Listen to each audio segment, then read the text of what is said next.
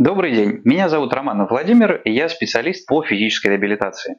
В прошлом видео Александр Андреевич показал нам, как разрабатывать лопатку самостоятельно, как э, улучшить движение и как сделать это безопасно. Вот. Но это был вариант для тех, кто работает самостоятельно. Если у вас есть кому помочь, если у вас есть родственники, либо помощники, можно делать это немножечко иначе и тоже достаточно эффективно. В этом видео я расскажу вам о том, как э, разработать подвижность плеча, как мобилизировать лопатку с чужой помощью. Для того, чтобы начать э, разрабатывать лопатку, нам нужно придать пациенту правильное положение – а, в большинстве случаев а, пациенты с, гем, гемипарезом а, хорошо поворачиваются на больную сторону, вот, а с поворотом на здоровую испытывают некоторые затруднения. Вот. Правильное и корректное положение для работы с лопаткой – это положение на боку. Сейчас я покажу вам, как правильно его занять, не нанеся урон плечу, и как сделать это максимально эффективно. Для начала мы берем на стороне поражения нашу больную ручку, перекладываем ее на грудь. Далее сгибаем колено. Я прихватываю под стопу и под сгиб.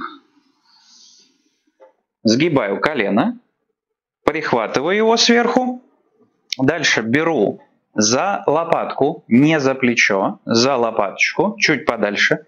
И аккуратно начинаю помогать человеку перевернуться. Вот таким образом. Вот, соответственно, придав нужное положение а, всему телу, мы придаем нужное положение руке. Для того, а, чтобы во время манипуляций мы не получали а, какого-то какой-то боли, вот, мы должны руку оставить не в свободном положении, то есть мы не можем руку завести за спину, мы не можем оставить ее спереди, потому что при взаимодействии с лопаткой рука будет скользить, ее, она будет дальше вытягивать плечевую кость из капсулы сустава и, соответственно, будут возникать болевые ощущения. Нам желательно избежать по максимуму этих болевых ощущений, поэтому руку нам надо зафиксировать в своих руках. Как мы это делаем? Мы берем ладошку, кладем себе на сгиб локтя и левую руку укладываем на верх лопатки, аккуратно пальцами найдя ее край, ближайший к позвоночнику.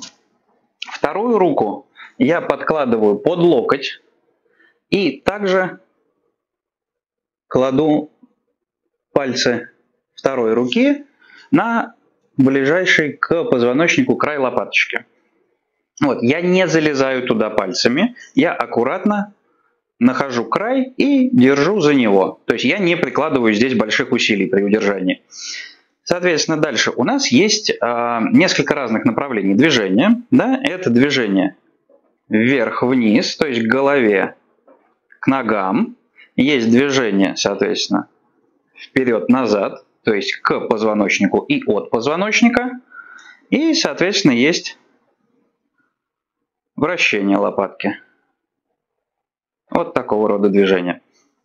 Соответственно, для того, чтобы начать работать, мы прихватили, пальцами туда внутрь не залезаем, четко фиксируем лопатку. Смотрим, чтобы рука пациента лежала на наших руках.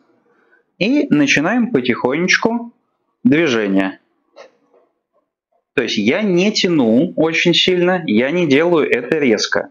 Любое ваше резкое движение может провоцировать спазмы, может провоцировать болевые ощущения. То есть наша задача потихонечку, потихонечку лопатку подвигать. Не дергать ее, не делать это быстро. Соответственно, я работаю к голове, к ногам. Вот таким образом. Вот. После этого я могу поработать к позвоночнику от него.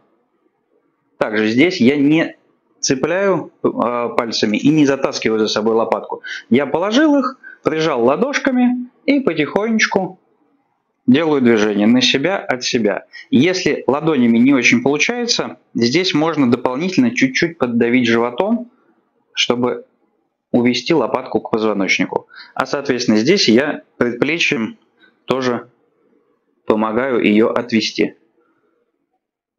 И вот таким образом мы работаем. Приведение, отведение лопатки.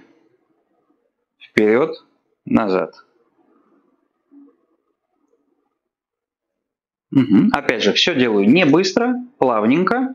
Вот. В некоторых а, амплитудах, в некоторых движениях вы можете почувствовать а, достаточно такое неплавное движение. Да? То есть, допустим, вверх-вниз она будет скользить хорошо, а, соответственно, к позвоночнику. И от него будет с небольшими а, будет немножко останавливаться по пути, а, как будто она за что-то цепляется.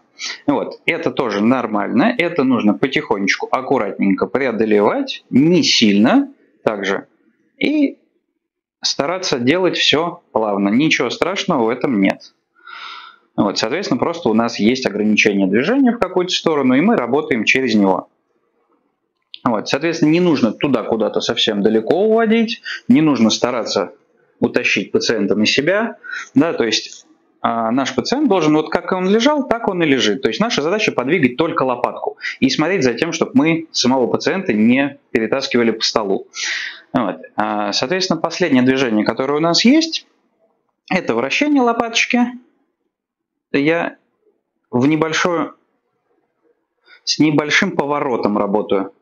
То есть работаю сюда, и потом в обратную сторону. Вот туда.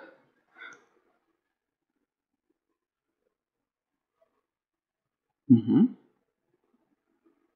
Еще можно попробовать э, немножко залезть пальцами под лопаточку. То есть мы поставили их сюда, и движением вперед я накатываю лопатку на пальцы. Тем самым э, для некоторых пациентов, у которых э, очень слабо выделяются лопатки, э, и есть такой условный синдром прилипшей лопатки, вот, это тоже очень хороший вариант. Вот. Оставили пальцы, чуть накатили и обратно. Также я не запихиваю их туда под лопатку, я поставил и немножко накатываю и обратно. Вот, если делать все аккуратненько, то болевых ощущений возникать не должно. Либо они будут ну, минимальный какой-то дискомфорт доставлять.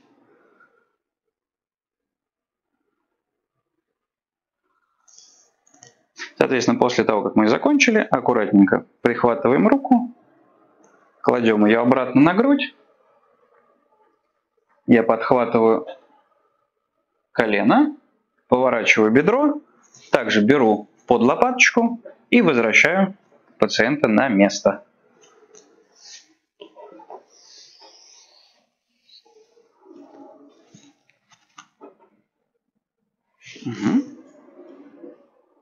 После того, как мы поработали, нужно обязательно не забыть э, поработать в пассивном режиме и э, поделать движение рукой.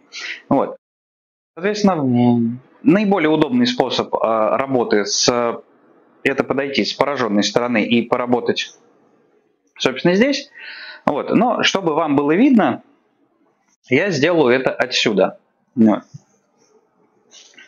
Здесь мы контролируем локоть и кисть. Наша задача провести сгибание и попробовать увести руку чуть-чуть дальше чем это было до нашей работы с лопаткой. Соответственно, мы также ориентируемся на болевые ощущения. Если у нас есть какая-то острая боль, мы туда не идем. Да? Если боль терпимая, если боль тянущая, небольшая, мы можем попробовать чуть-чуть увеличить рабочую амплитуду. Соответственно, здесь у нас основные два варианта работы. Это с разворотом плечевой кости наружу. Это вот такой вариант, когда у нас локтевая ямка смотрит в сторону головы и ладошка тоже смотрит в сторону головы. Здесь обязательно я контролирую локоть и контролирую кисть. Соответственно, мы идем дальше и потом разворачиваем все это дело внутрь и работаем точно так же. То есть здесь у нас уже локтевая ямка смотрит в сторону другой руки, а ладонь смотрит в сторону ног. Контролирую и работаю дальше.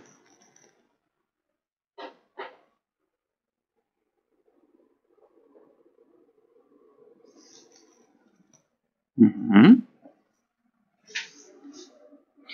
Важный момент, о котором стоит повторить, это работа с болью.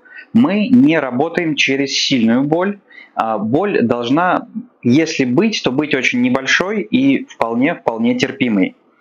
А, значит, общий алгоритм а, подобной работы заключается в том, чтобы увидеть какой-то результат. Да? То есть для начала мы поднимаем руку, смотрим доступную нам амплитуду, после этого работаем с лопаткой и поднимаем руку еще раз. И смотрим, насколько у нас увеличилась рабочая амплитуда. То есть это нужно для того, чтобы э, работа происходила правильно, и вы сами видели результат вашей работы. Вот, а в, собственно, в следующем видео мой коллега Денис покажет, э, как работать с лопаткой из положения сидя. А на этом я с вами прощаюсь. Всего вам доброго.